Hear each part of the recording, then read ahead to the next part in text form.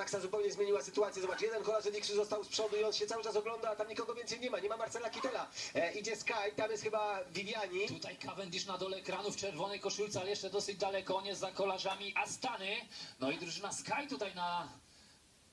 w dobrej sytuacji.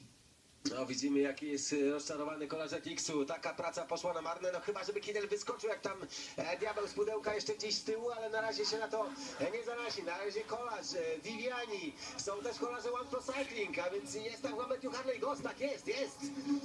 I ruszają zawodnicy Sky. E, rusza Elia Viviani. Modolo. Polo za nim i jest e, Matthew Harley Ghost. Kto tutaj będzie pierwszy Viviani, a więc powtarza. Rok po roku Viviani.